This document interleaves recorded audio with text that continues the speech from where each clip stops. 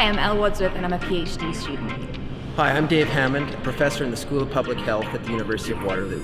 On October the 17th, 2018, non medical cannabis will be legalised in Canada, only the second country in the world to do so. In order to capture the Canadian policy experience, we have interviewed many stakeholders across the country prior to legalisation. The series will cover how cannabis will be regulated, changes in the cannabis industry, and why Canada legalised cannabis in the first place.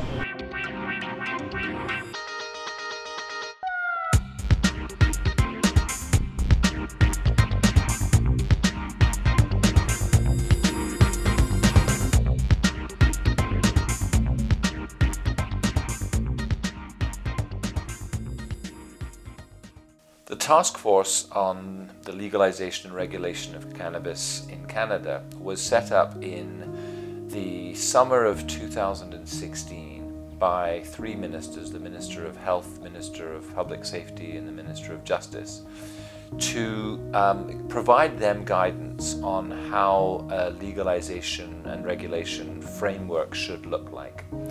There were nine of us on the committee. Anne McLellan was the chair, I served as the vice chair, and there were seven others from various different aspects of Canadian society, researchers, academics, law enforcement, uh, doctors, researchers, and so on.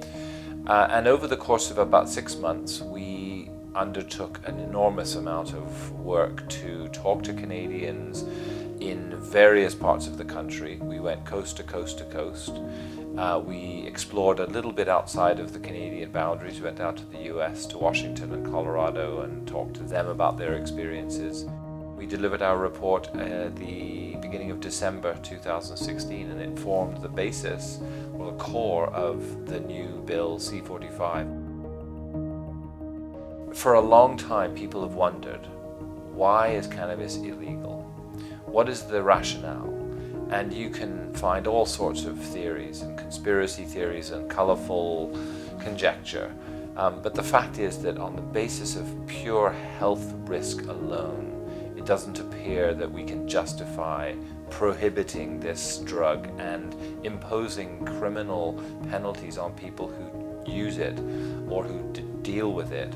Um, that that simply isn't proportional to the health risks associated with it, um, and that there is a more sensible and a more equitable way to manage this substance in our society. So, I think the answer to the question of why now is, you know, because we cannot wait any longer. Uh, this is the right thing to do. At no time during the task force deliberations did we feel that this was the wrong thing to do. It was not a discussion about whether we should or should not legalize. It was how do we do it and how do we do it in the most safe and effective way possible. I think the government's decision to legalize recreational cannabis is a fantastic, a fantastic idea. Um, it's not even just going to be able to support medical patients and their needs and also to help get rid of that illegal market, um, but also will open up brand new markets, bring in new entrepreneurs, new innovation. I'm all for it. I think it was a great decision um, to legalize it. However, I think the implementation of it has had its hiccups to some degree problematic, and I still believe that there is going to be further engagement that's required, you know, five years even after legalization um, for the market to really mature as it should. Uh, I believe that we should be, you know, very shortly after legalization start talking about amnesty for, you know, non-violent cannabis offenses. I think that's very important. I do think it's brave. I do think it is a bold first step towards a more um, understanding uh, environment to talk about these substances, not as not as simply a bastion for criminality, which is I think what a lot of the old dialogue was around. It, it, was almost like the, the reputation far outweighed the actual risk to society. So what I think is very brave and exciting about this is sort of to be able to say, what is it, like to boil it down to an elemental level, and what, what does this thing do, and how is this different from other substances that people use, whether for medical purposes or even if it's a recreational intoxicant. Like let's let's really have the conversation about what it is And when you start to dig a little bit deeper, you see the black market piece around it is actually the way bigger societal ill. The um, unnecessary incarceration of, of people who are either selling or holding this, this flower. Is that really the, what we want the legacy of it to be? I think any country that's looking at changing its policies around cannabis specifically um, has to look at its own context. Any given jurisdiction that's looking to change policy has to look at its own rationale, its own resources, its own uh, culture, and, and make sure that whatever system is put in place is consistent with those internal processes. I think fundamentally the question that we had when we went to the US states and we went to Uruguay, um, the, the, the key question that we had in our minds was what did you do that if you were us, you would do differently if you could do it again?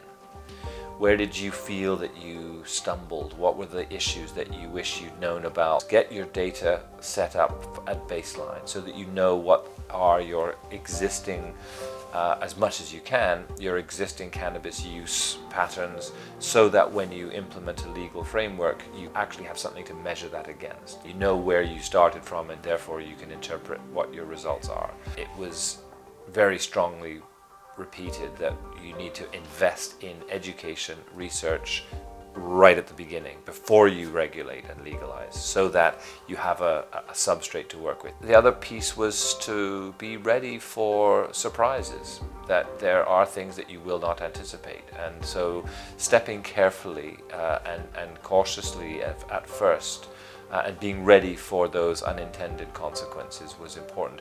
And the other thing was a very strong feeling that they did this and the sky didn't fall in on their heads they're still going. There was a bit of money for revenue, not to expect a huge amount of tax revenue, but that wasn't really our mandate, but that life went on and that it wasn't a big, you know, disaster and there weren't huge public health uh, consequences. Uh, and I think that was an, an important message for us to take back is knowing that if we do this properly, if we do it well, um, it, it, there'll be a lot of interest, there'll be lots of excitement, there'll be plenty of stories to tell, but that over time it, it should roll and, and, and become uh, something that's part of Canadian society, much as it is already, but in a slightly different way. Whether in Canada or um, internationally, people will be looking uh, to see what are the effects of legalization, you know, um, and um, from you know from the public discussion that we're seeing, um, including currently in the in the Senate, a lot of people are expecting this will be a disaster, you know, whether like skyrocketing um, use rates in the population or among youth, um, an explosion in impaired driving and collisions. Um, there are all kinds of like worst case scenarios people are picturing. Um, and first, based on what we've seen in other jurisdictions, um, so we don't expect there to be um, a huge uh, increase in use. It seems that in jurisdictions that have legalized or decriminalized, there tends to be an initial kind of spike in use, like the novelty effect. Um, I've heard it referred to as the straw fire effect, basically, kind of burns bright for a bit and then kind of goes back down. I think it'll be really important when we judge the effectiveness of cannabis legalization for us to um, not look at cannabis in isolation, but to see what the trends are for other substance use. Um, it'll be difficult to determine you know, to what extent um, like one is responsible for the other, but to the extent that cannabis use might actually displace some alcohol use or opioid use, then that would likely be a public health win. I think some of the biggest benefits that'll come from cannabis legalization aren't tangibly you know, research results or, or data that we might expect. That'll come. I think probably for me one of the most tangible benefits is that we're taking the lid off of an activity that's been suppressed and hidden and unknown and mysterious and stigmatized for decades and looking honestly and openly at what cannabis is, how people use it, what they do with it. Um, and I think that alone is going to allow for a conversation, it's going to allow for more sensible discussion, education, um, just whether it's in schools or in the home or in the clinic, uh, or on the side of the bus. It's going to be something that we can talk about now and we can share our perspectives.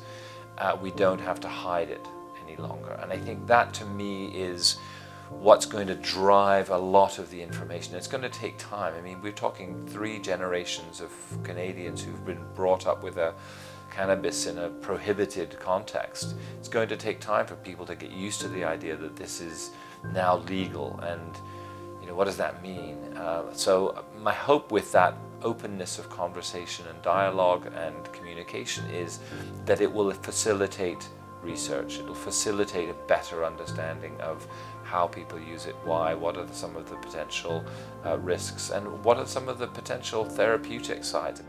I don't think Canada will be a a champion for cannabis legalization globally. I think it'll be a reluctant hero when it comes to changing drug policy.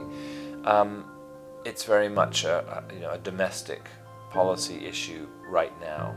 Um, I do think that other countries are watching carefully what's happening in Canada and how this process is being evolved. If things go well and smoothly, then we may have a story that we can take outside of our borders. But it's probably a little bit early to, to champion Canada too soon.